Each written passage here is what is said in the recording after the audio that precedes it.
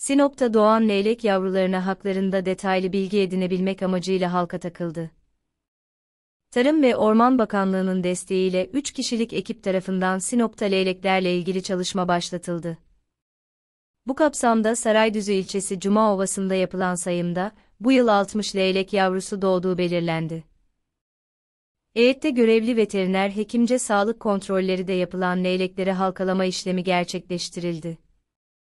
19 Mayıs Üniversitesi Bafra Meslek Yüksekokulu Bitkisel ve Hayvansal Üretim Bölümü öğretim görevlisi Arif Cemal Özsemir, Anadolu Ajansı muhabirine, yaptıkları işlem sayesinde yavruların Türkiye'deki yuvalarına geri dönüp dönmeyeceklerini, hangi göç güzergahını kullandıklarını öğrenebileceklerini söyledi.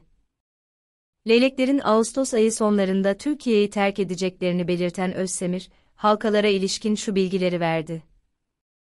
Leyleklere taktığımız halkaların her birinin üzerinde özel bir kod sistemi var. Mavi beyaz kodlar, Türkiye'deki halkaları temsil ediyor.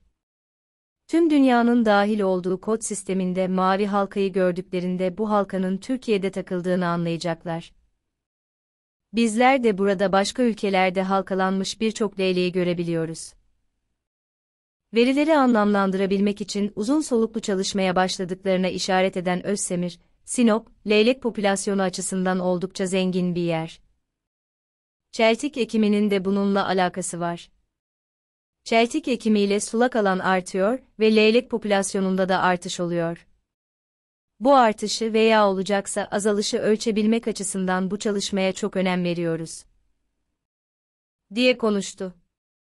Sinop Üniversitesi Eğitim Fakültesi Matematik ve Fen Bilimleri Eğitimi Bölümü Fen Bilgisi Eğitimi, Ana Bilim Dalı Öğretim Üyesi Doçent Doktor Evrim Sönmez ise çalışmada kendilerine destek verenlere teşekkür ederek, gelecek yıllarda çalışma alanını genişletmeye çalışacaklarını kaydetti.